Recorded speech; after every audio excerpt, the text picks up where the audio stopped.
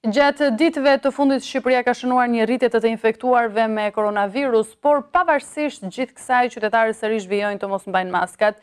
Në njëzet e katër orët e fundit policia ka gjobitur shtatëqind e njëzet e pesë qytetarë të cilët janë konstatuar pa maska në rrugë. Ata janë gjobitur në masën tre mijë lekë, një shifër e cila do t'u shtohet në faturën e energjisë elektrike. Policia e Shtetit ka vijuar aksionin për ndëshkimin e qytetarëve që nuk zbatojnë masat anti-Covid. Në njëzet e katër orët e fundit janë gjobitur me tridhjetë mijë lekë të vjetra shtatëqind e njëzet e pesë qytetarë. Ndërkohë janë shoqëruar në komisariat tetë qytetarë që nuk kanë pasur me vete kartën e identitetit. Policia e Shtetit, Ndëshkohen me masë administrative tre mijë lekë, shtatëqind e njëzet e pesë qytetarë që nuk kishin vendosur maskat mbrojtëse.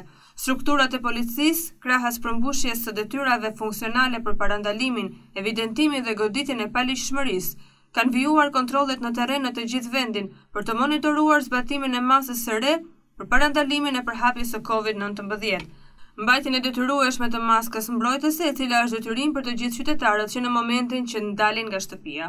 Si rezultat i këtyre kontrolleve gjatë njëzet e katër orëve të fundit në të gjithë vendin, patrullat e përgjithshme dhe ato të policisë rrugore kanë evidentuar dhe ndëshkuar me masë administrative tre mijë lekë secili shtatëqind e njëzet e pesë qytetarë që lëviznin pa maska mbrojtëse. Gjatë këtyre kontrolleve janë shoqëruar në ambientet e policisë në të gjithë vendin tetë shtetas që nuk kanë pranuar t'i tregojnë Policisë së Shtetit dokumentin e identifikimit apo nuk e kanë patur atë me vete, të cilët pasi kanë paraqitur dokumentin e identifikimit janë ndëshkuar me masën administrative tre mijë lekë dhe më pas janë lënë të lirë.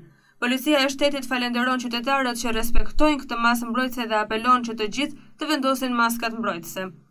Të respektohen me rigorozitet vetëkarantinimi i detyrueshëm nga ata qytetarë që janë prekur me Covid nëntëmbëdhjetë. Pronarët e lokaleve të respektojnë protokollet e sigurisë dhe të mos kundërshtojnë urdhrin e punonjësve të policisë, pasi Policia e Shtetit është në shërbim të qytetarëve për të mbrojtur jetën dhe shëndetin e tyre, ndaj është edhe e rëndësishme zbatimi i kësaj mase, sepse parandalon infektimin me Covid nëntëmbëdhjetë.